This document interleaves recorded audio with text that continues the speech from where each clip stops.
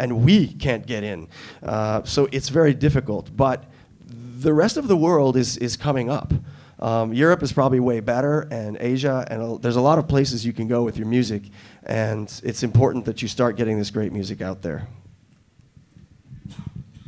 If I can add a, a bit to that, you know, I think uh, no matter what the territory or the, uh, the funding system, the only trick is to just, as you said, like go where you want to go. Like if you want to go to Canada, well, try to come many times, be seen and you know just play your, your best and that's that's how you're going to get noticed and something will happen you know. Because I'm, I'm always on the side of trying to push bands outside and everybody's telling me oh you know here you have to come often. I'm like yeah i know you have to do that. Every, everyone has to do that. There's no special trick you know? There's nothing to be there's no no one has a special formula. That's what i mean. It's just be there and maybe focus on one territory or two and try to make it happen and just go back and back and that's that's probably the only way to that I know. You know, I, I don't know any other way to do it. So that's uh, that's my thing there. Ali no alto. Ah, tem aqui primeiro. Depois você lá, tá bom? Uh, hello, um, my name is Erica. Um, I'm an artist. Um, I was just recently in Montreal. It was a wonderful experience. And I was very um, interested in how the city is just so amazing and, and, effervescent with music, and especially electronic music. Um, I was just curious, like, I would really love to go back there and participate in the, the festival scene, but, you know, as an, a DIY artist, it's a little difficult to get my hands on things like. Uh, She's really good. Thank you. and um, how, how do you go about um, getting to festivals? I mean, is there some kind of form you have to fill in? Um, how, how do you break into that? I think it's, it's more about. Friends, you got this.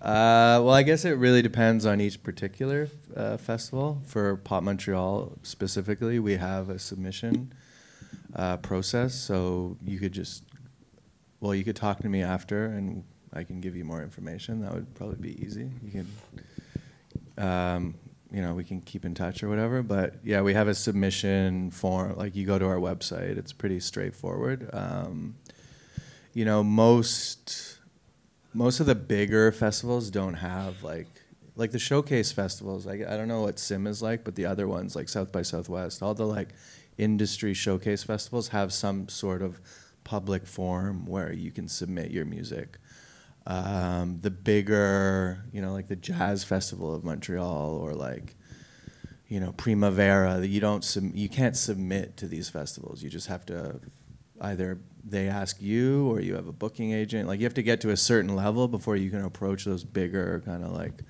high profile like festivals. But the showcase festivals all have um, submission forms. Um, and I mean, my advice personally uh, for those for uh, playing a showcase is like I think they're important. They're not necessarily like you're not necessarily going to get a, a, label and a booking agent and a ton of um, business out of it the first time, especially. But they're a good way to meet other artists, to network, you know, to kind of get a, a better understanding of how the music industry works, especially for your first few times. So even if, even if you go not as a performer, like just to go, just like being here right now, exchanging ideas, meeting people. I think it's a good start to, you know, beyond like making music and building a community within the city you live live in and, and, and, and playing shows with people. I mean, I think it's all part. It's like a it's an ecosystem that you have to that you have to really build and, and kind of nurture. You know, but uh, yeah, I guess that's sort of it. But we can talk after, and I can give you more info. There, um, the the woman that uh, takes care of the Australian export, who's here, called Millie Millgate. She has an expression that she calls "go before you show," um, and that's a pretty good idea of like, especially for like if you really don't know what's happening in that area, it's your first time, you don't know the market, or like it's a huge thing like South by. I mean, like seriously, South by is very nice. It's like the biggest showcasing festival in the world. But I mean, if you go there and nobody knows who you are and you don't know anybody, man, you're gonna be sad at the end of South by Southwest. You're gonna like, I spent a lot of money and you know it really wasn't. You know, my four Brazilian friends came to the show and you know the drunk guy walked in. Uh, so you have to be like going uh, first and checking, like sort of making contacts and, and seeing what's really happening there to evaluate whether it's, it's relevant for you is, is a really good thing. And um, with regards to all festivals in general, um, generally, I mean, the whole music business tends to function on a they want to notice you, like they want to discover you. So if you can find a way to leave a trail of breadcrumbs that lead to you that they can follow, it's usually a lot more uh, effective than if you go into somebody's face and start like you know totally frontally selling what you are and what you are and they don't know who you are they kind of go ah, kind of like like uh, uh, uh, a couple, like a guy or girl, or, two girls or two guys or whatever, where if the person's like too intense, you're like, ah, and you sort of like back off. It's the same kind of thing with the music. They, uh, we tend to react a lot better when it comes at us like in a more charming, seductive, and we, you know, we get into it step by step, and like, you know, and then at the end, huh, we're in, enamored and seduced by the whole thing. And and and it's referral based as well.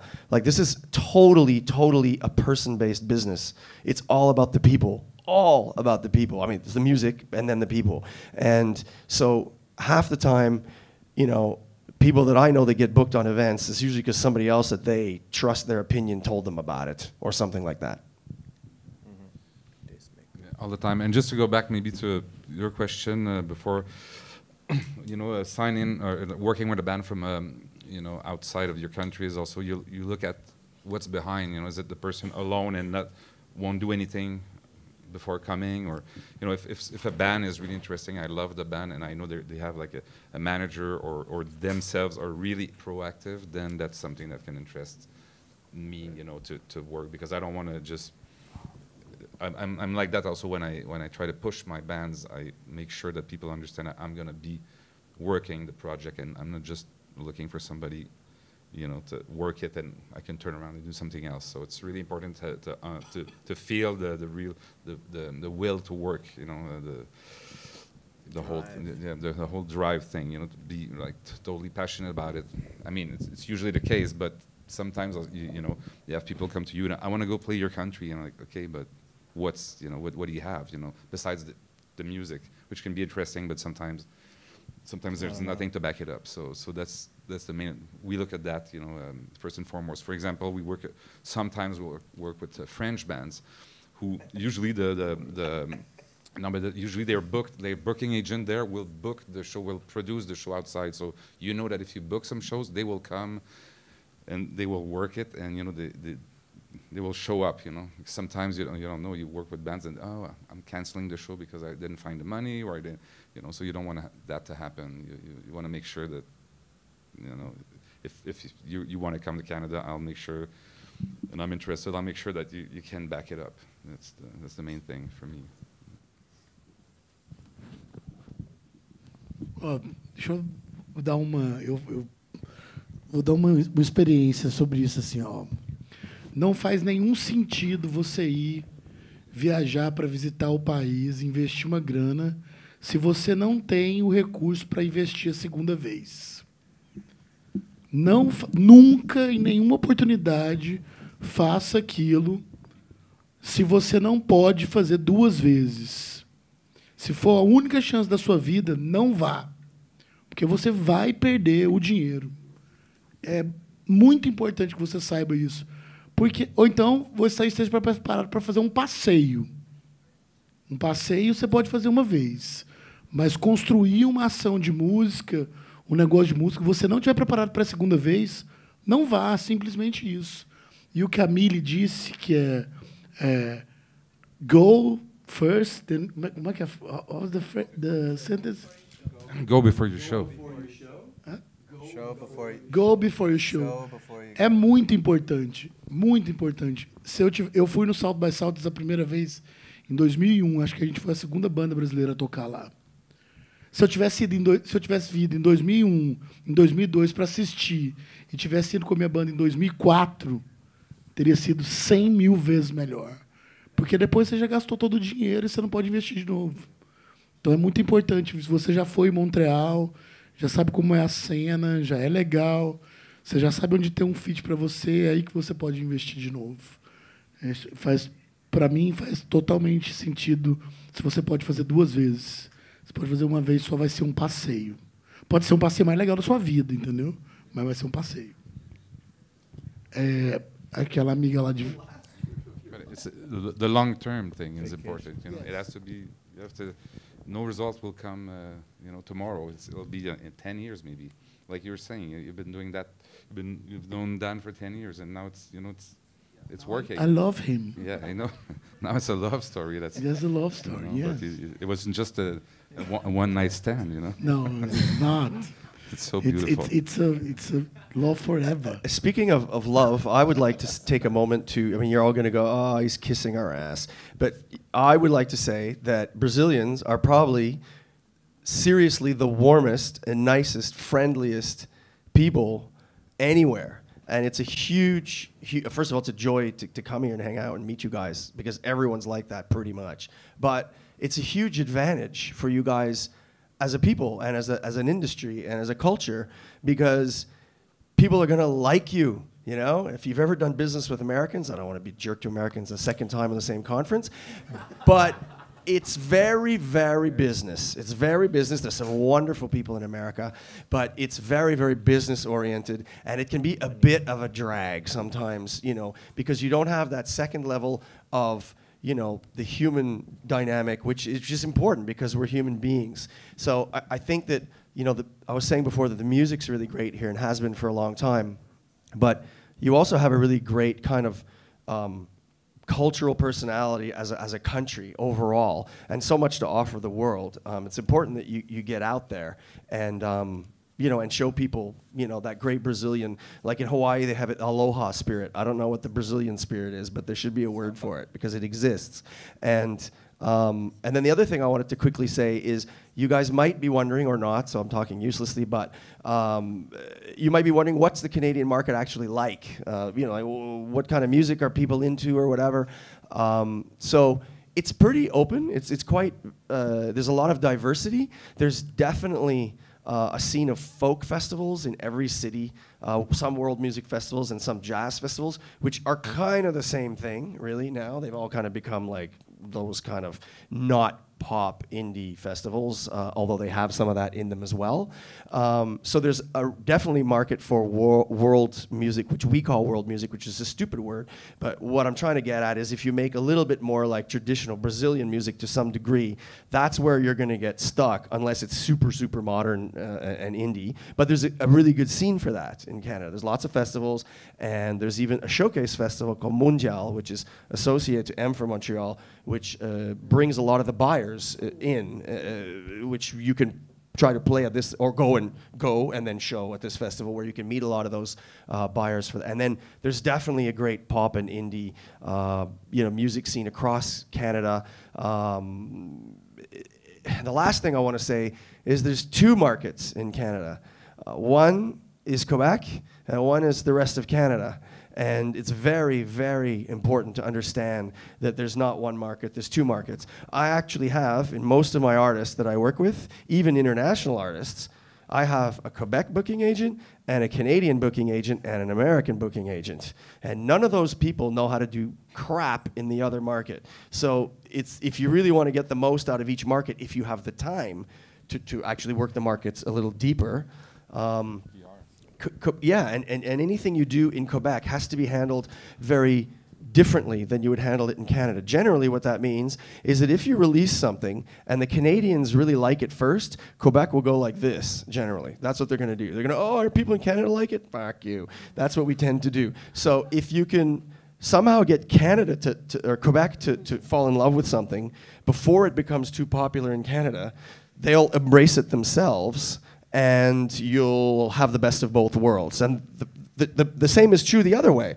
Um, the really successful English Canadian bands from Quebec had to leave Canada to get uh, accepted in the rest of the, of the country. Um, Arcade Fire went straight to the US. They didn't bother with Canada. They went straight to the US and then came back. Uh, a band like Half Moon Run that I work with, they got ignored by Canada, like ignored. And they were a really good band. So, and it, be- was because they were from Montreal and from Quebec. So it- it's a cultural But thing. It's a like- linguistic They're thing. actually from BC, though, right? Well, originally, but they they formed and you know were known as a band from Quebec, and that, for that reason, Toronto, which is our, I guess, your Sao Paulo or Rio, where the, the you know the industry and the media are, they just ignored them. So if you want to get the most out of the country, um, evaluate both markets and, and work them individually. Gu- Gourmet, you know, can talk about that because he knows. But you know, one thing to understand is that Quebec, like Canada, is about 30 million people, and Quebec is almost close to 10 million, and then Ontario, the next province where Toronto is, is what another 10, 12. You know, so so all the rest, all the like eight to, to 10 million, is scattered all across the, the, the country. So the focus isn't really Quebec and and, and Ontario, that's for sure. Well, Uh, we can say for the- a, a word about Vancouver, maybe just so that they know, you know, the West Coast uh, scene. uh, Right. I mean, well, one point about I don't know if we talked about this, but um, Canada is such a huge geographic country, and it is a small population.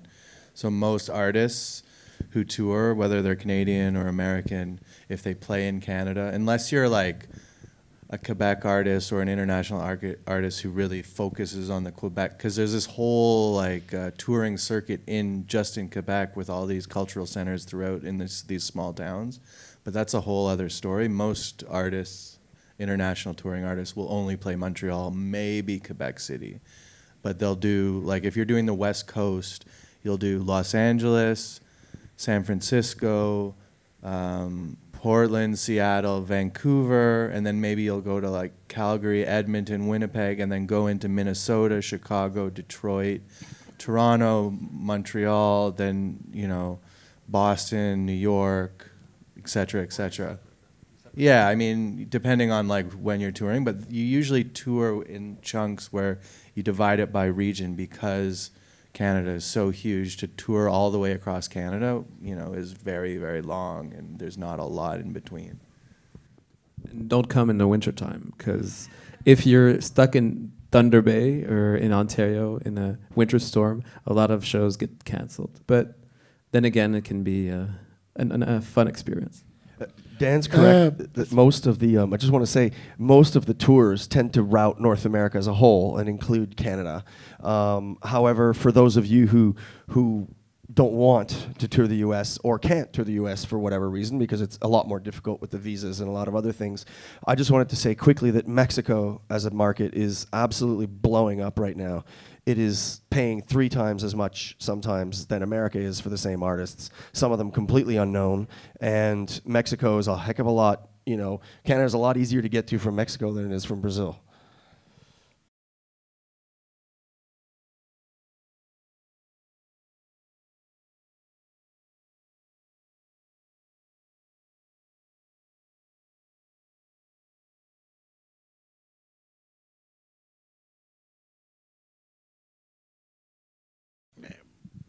Hi, how are you? My name is Yoyo Borobia. I come from Venezuela, and uh, I feel myself like Venezuelan in Spanish. And uh, here I am. And um, I was wondering. Well, I've been living in Brazil for a few years, and I just realized that uh, the niche for for Spanish-speaking artists here is pretty small compared to Portuguese or English-speaking artists.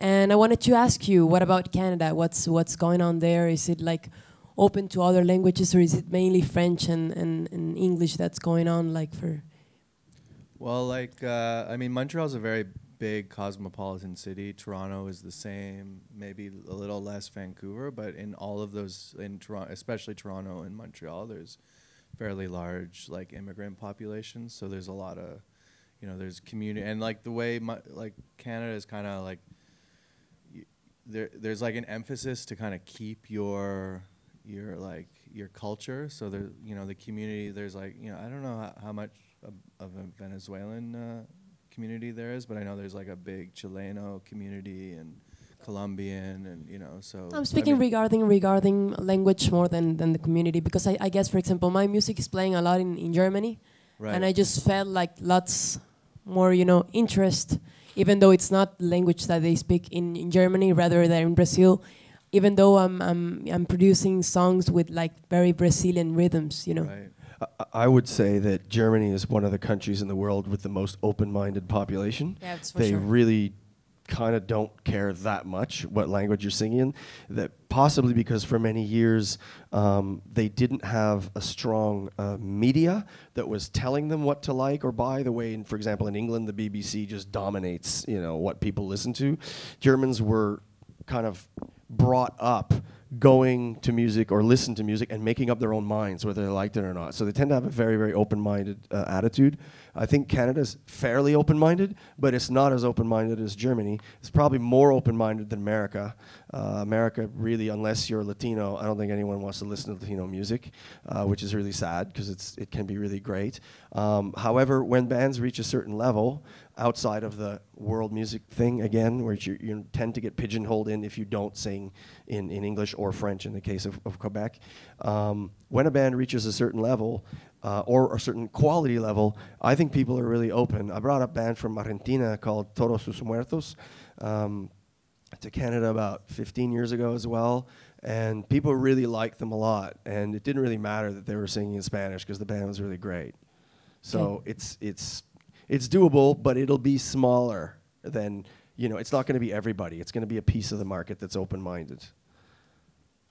got it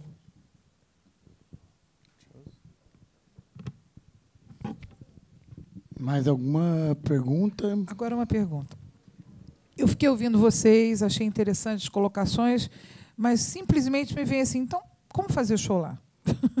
Porque, assim, se, se o ideal é uma vez na frente para poder viajar e ter dinheiro para voltar a segunda vez. Mas ir no escuro também não adianta, mesmo que seja para prospectar alguma coisa. É, qual seria o caminho? de por exemplo, eu trabalho com uma música de identidade brasileira. e Eu gostei muito do que o Jean falava sobre essa questão da proteção da cultura na Austrália. Porque eu também, no lema da empresa que eu trabalho, o nosso lema é isso: o povo que não tem identidade é, não é um povo. E ser nobre é ter identidade. Então, eu, eu gostei muito disso. Agora, eu tenho interesse de exportar minha música, mas se eu, qual é o caminho, por exemplo? Eu tenho interesse de, de fazer um trabalho lá, mas quem eu procuro para começar a me ajudar, inclusive, a ter esse olhar? Porque chegar também na cidade para visitar, vou visitar o quê, quem, como? O que, que vocês sugerem? Do you want to answer first, Fabrizio, or me?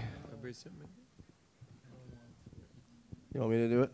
Um, I mean, I think if you go to um, conference uh, events like like Sim, for example, I think that the idea of these events is actually to put you directly in touch and in relationship with with the kind of people that you need to be in relationship with to to know what to do and to know how the market is and to take you know to take a chance and and and know where to go and know who to talk to, et cetera, et cetera.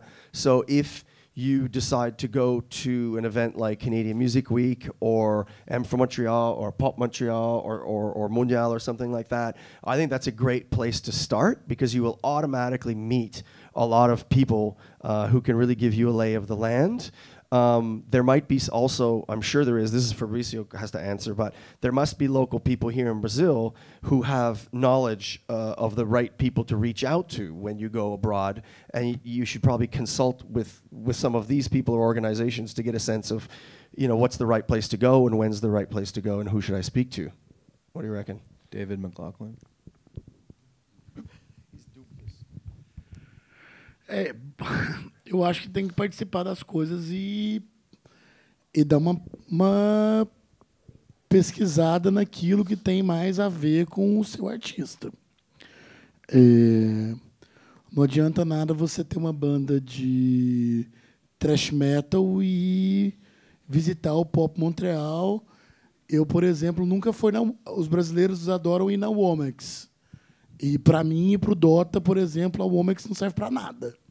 Mas pro pro Fiote, para pro, pro, pro pessoal do de Recife, Pra- serve para tudo. Não faz sentido eles irem para salto by saltos. Tem que ter uma pesquisa nisso e e ir nas conferências de música. Felizmente tem assim São Paulo que está dando algumas entradas aqui, entendeu? Talvez não seja tão abrangente é, como fosse possível a gente ter alguém de um festival mais de world music no Canadá é, sentado nessa mesa também. O foco aqui é um pouco mais indie, pop, eletrônico, etc. Mas, mas para quem está nesse nicho, talvez eh, sejam os melhores contatos do Canadá, entendeu? Então, assim, tem que, tá- tem que pesquisar, tem que ir nos lugares, tem que conhecer as coisas. E tem pessoas chaves no Brasil para fazer isso. Tem gente que, por exemplo, o Dago é um cara de São Paulo aqui que tem um acesso, é um grande amigo do Daniel, aconselha ele, mostra bandas para ele. Eu, por exemplo, faço é, faço a curadoria, uma pré-curadoria para o Primavera Sound, Primavera Pro na Espanha, que também passa pela gente, a gente apresenta por lá. Esse tipo de conferência que coloca a gente nessas, nessas condições. Porque eles também. Eu, eu, eu, eu sou convidado para ir muitos, ficam super curioso. Pra, ontem os australianos estavam à noite, desesperado para ouvir a música que, ele, que servia para o evento deles. Entendeu? Então, assim, precisa. Ontem, a hora que o cara chegou lá no Mancha, ele quase morreu. Nossa, achei o que eu queria, entendeu? Porque ele queria aquela música. Então tem que. É isso, tem que participar, se engajar aí, ver se tem mercado para aquilo, entendeu? Acho que é por aí. É, Yeah. Não tem muito segredo. I think think uh, Ou, na verdade, tem um grande segredo, né? I think uh, France uh, told it earlier, talked about that earlier, but it's really a relation-based uh, business. So you have to just to start somewhere, and it will lead you somewhere else. You know, there's the, the the research. There's also like going to Mundial Montreal. If you're doing something that it's world music, but very large, it can be electronic, and it can be a mix of stuff.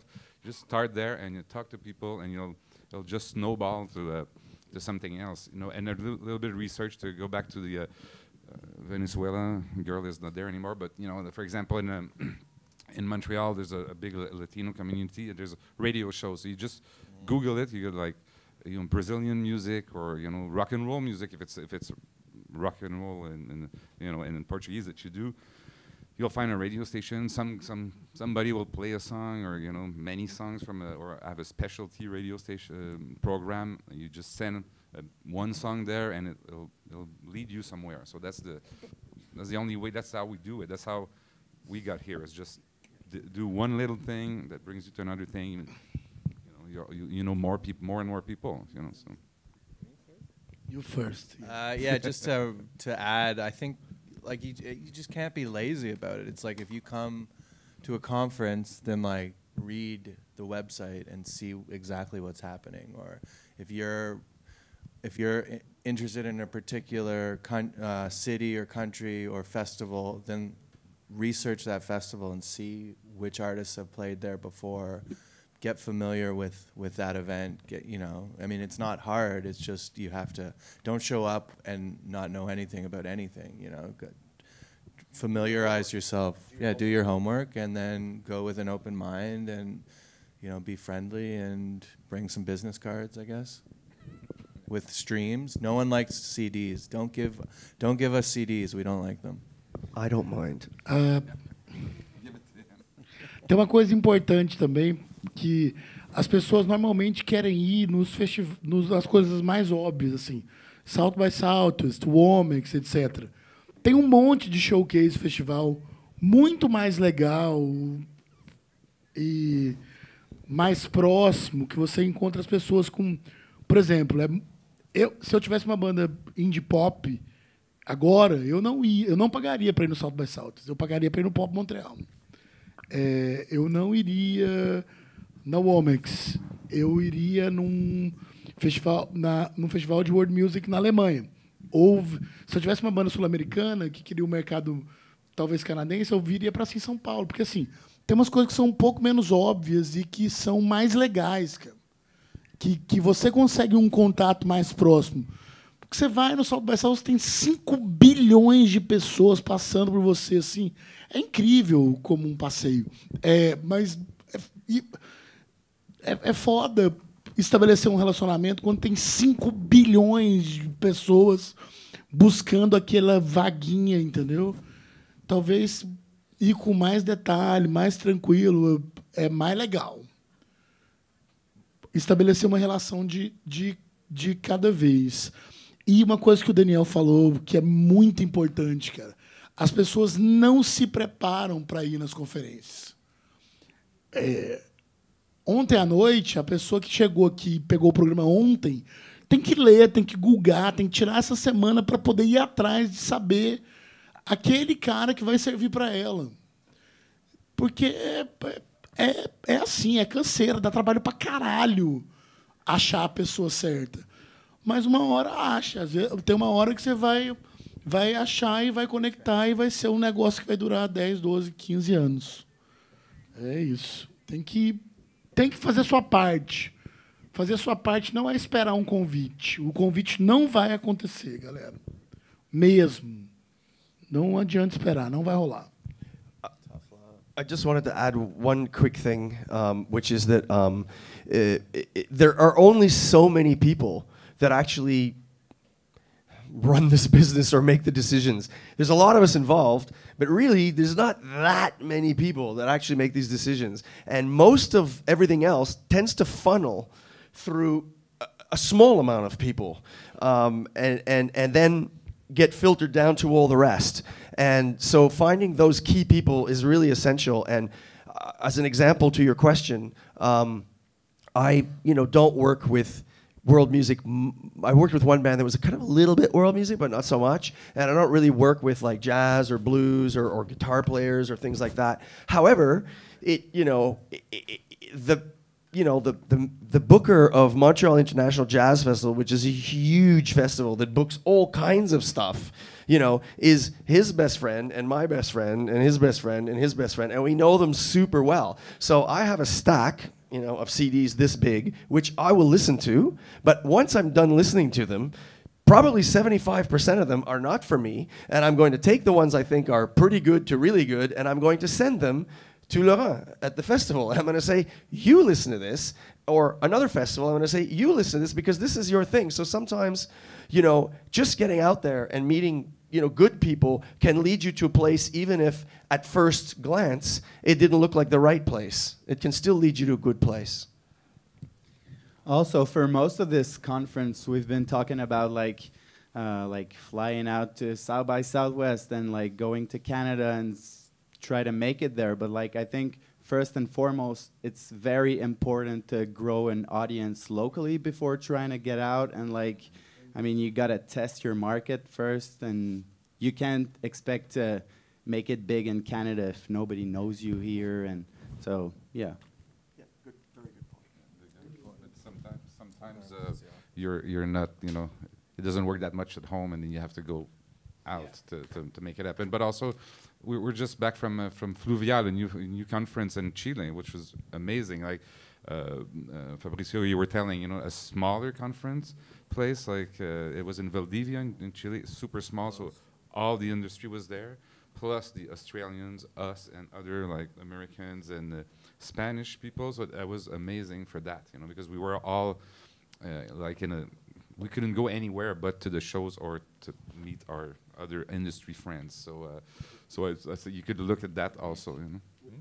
I have a question for, for all Brazilians and all South Americans, actually, and I understand the cultural and linguistic question. It's for him to, to ask or just to think. And, uh, uh, just think about it or try and answer. Um, we just have either two way. more minutes Okay, so here's the question. I understand Brazil is 200 million people that speak Portuguese, and the rest of South America is, you know, 100, uh, et cetera, million people that speak Spanish, and there's a competitiveness and a rivalry and all kinds of things historically. However, it seems to me that even within South America, you guys totally do not work together as much as you could. And it would help you all if you worked more together and were the power of South America rather than just individual countries that are struggling by yourselves. That's not a question. It's not a question. Sorry.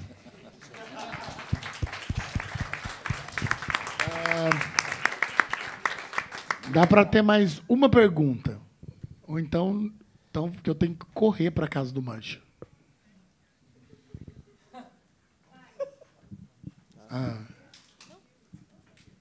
Você, é, ela? Não? Uma pergunta? Posso perguntar? Por favor. Hello. Uh, just want to know how, how about reggae music in Canada and uh, hip hop? Uh, I want to know if there is a scene. Like I, I have a label. Uh, uh, I produce some artists in Brazil, release them. Uh, but there is not uh, really uh, uh, a market here in Brazil for, for this kind of music, reggae music, Reggae. Reggae, dub, dub music, live music, live reggae dub. in English or in uh, Portuguese. Uh, both, both, but in English especially. Reggae music's pretty uh, popular in like Toronto, in like um, uh, in, in Ontario. Like just you know, it's not, not reggae at all, but there's a, a very large uh, Afri- you know African Am- American uh, population, like black music we can call it.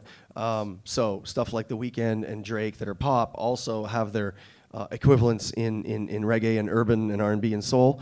Um, so it's pretty popular there. Uh, uh, it's not huge, but it's it's healthy. Um, Hip hop is huge, um, especially on the English side, and has now become huge on the on the French side in Quebec. I'm going to let you know you answer this question because you guys actually you know you work with yeah, hip hop's quite. you work with hip hop bands, which I don't. Why not? Yeah, I don't know much about reggae, the reggae scene in Canada actually, but uh, I work with one band from uh, Montreal who has a great career in Quebec, but uh, they sing in French, so we don't expect them to go out in the rest of Canada or like in the U.S. to to make a career there. But uh, we're yeah, we're really focusing in Quebec for them.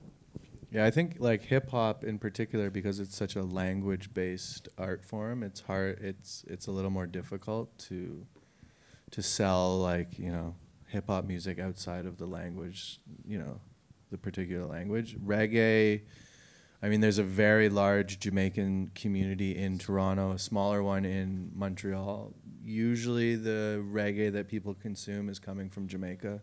There is a little bit of reggae from you know, homegrown reggae. There's quite a there's quite a decent scene, and Toronto's bigger, but Montreal has a scene. Um, but I think generally people are a little skeptical of reggae that's not from Jamaica. I don't know why.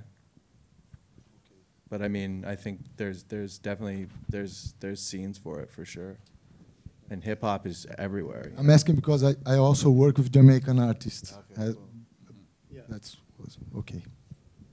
É, amigos, é isso. Palma calorosa, que diz que nós somos um povo caloroso. Não é isso? É, é o último painel do dia? Então podemos ir para a balada da noite, galera. Aproveitem, procurem as bandas canadenses, os shows são muito legais. É, aproveitem para ver no breve, amanhã na festa de Quebec, no showcases aqui. E é isso, obrigado, jovens. Foi ótimo. Não deu para ouvir nada? Muito obrigado. De nada.